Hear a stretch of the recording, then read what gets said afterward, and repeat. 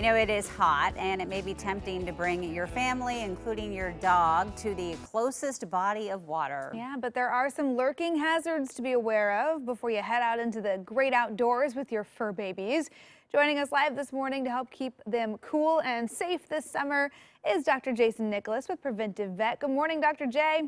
Good morning, Emily and Jenny. How are you all doing? Good. How about yourself? Doing very well, thank you. Yeah, so I know we're, we're getting into uh, the, the, dog days of summer, you know, as we as we call them, and I know we've uh, we've seen a lot of people out and about, and I've been starting to hear from some fellow dog owners that they are seeing some algae in ponds and lakes. Uh, we start to see some scummy stuff this time of year. Um, is that a danger for some of our pups? Yeah, actually, a really big danger for our pups and for ourselves, really. Um, especially the some of the blue green algae species um, which are growing on, you know, even backyard ponds and even in slow moving rivers and streams and such, um, can cause some pretty severe neurologic central nervous system and or liver damage in our in our pets. Oh, hmm. wow. So I, I, know we've had reports about these uh, issues sometimes in the news, but how can pet owners, you know, stay up to date with uh, any algae threats that might be out there? Yeah, so I mean, the first thing is really just keep a close eye on any water that your dog is around. Um, it, it doesn't always, it isn't always terribly obvious, like a really thick green sort of scum on the top, but um, sometimes it is. Uh, but even if there's not a ton on the top, it can still cause a lot of problems.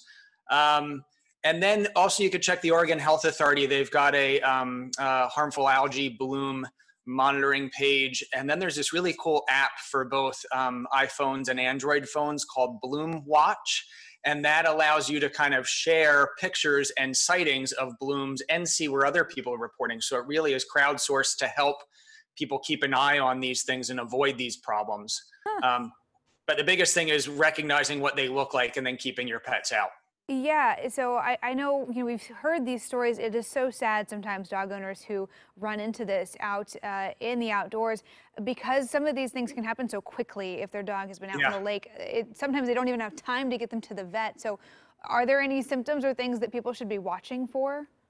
Yeah, so and the symptoms can come on quite quickly. You're right. Um, you know, really things like staggering, walking like they're drunk, we call it ataxia. That's because it's affecting the central nervous system um, vomiting, sometimes even their eyes rolling to the back of their head, collapse, seizures, things of that nature. If your dog gets into this stuff, like let's say they jump into a pond and you don't realize that there's a problem, try and rinse them off, hose them off with fresh water. Um, and if you can use uh, a shampoo, that's great. That can help get it off because it's not just a matter of them drinking it from the pond or, or swallowing it while they're swimming. Even if they lick it off their fur afterwards, it can cause problems. So those are the signs you want to look for, and that's what you want to do if they inadvertently get in.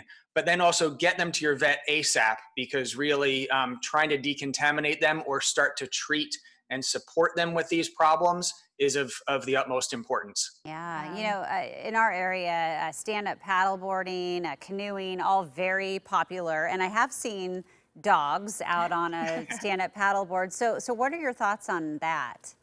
I think it's fantastic. If your dog is acclimated to it, and and there are some cats that can actually do this stuff as well, by the way.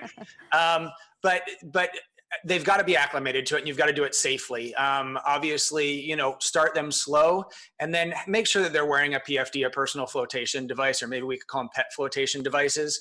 Um, there's actually a great company locally, uh, you know, in, in Oregon, in Bend, called Ruffwear, and they make some of the best uh, doggy life jackets um, and I think cat life jackets as well. Um, but you know, you can you can check these things out at REI and other places. But uh, but a, a, life jacket is of the utmost importance, and starting them slowly and acclimating them is is uh, very important as well. Okay, even if they've got the doggy paddle down, it's definitely good to have some support. And I know you mentioned, uh, you know, bathing them more regularly, especially if you think there's a problem. But should that kind of be the routine for any time you have an outdoor day? Yeah, I mean, depending on what they're in and what they're swimming in and such. But I also want to caution people to be really careful, especially if your dog has, say, long fur or they're prone to, say, skin allergies. You want to make sure after swimming or bathing, make sure to clean and dry their ears really well. And we've got an article on the website at preventivevet.com on how to do that and what to use and what not to use. But also make sure to bathe them and dry their coat really well to prevent or minimize the chances of what we call hot spots, which can be very painful and distressing for your pets um, and problematic as well. Yeah, okay. Dr. J, thanks as always for the advice to keep everybody having fun this summer. And hey, you know, uh, we know pet owners might have even more questions. So coming up a little this a little bit later this morning, Dr. J is going to be back uh, for our Ask a Vet Facebook Live Q&A. So if you have any pet questions that you want Dr. J to answer, uh, tune in, join us on our KOIN News AM Extra Facebook page.